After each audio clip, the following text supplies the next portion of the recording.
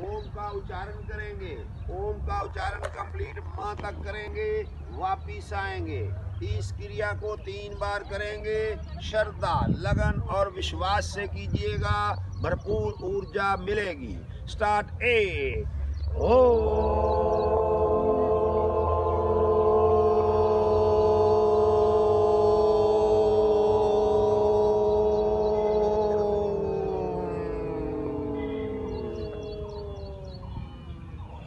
do